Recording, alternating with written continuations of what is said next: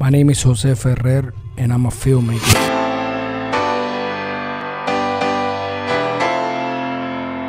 So the first time I saw Grant Cardone, my exact words were like, "Who the f- is this guy?"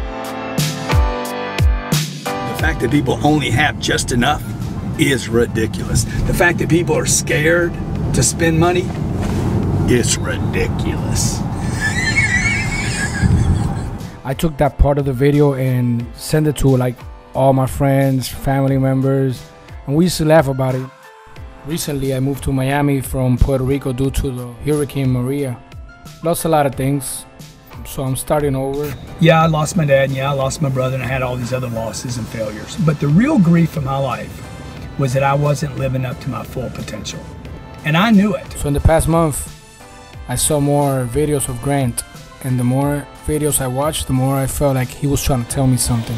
Do whatever it takes to be great. So he's trying to inspire you to take action, be positive, and Don't stop be a being little little bitch. bitch. Boom, man.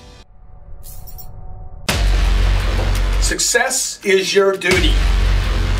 Work ethic. And you're funny and wise Yeah, yeah, guy.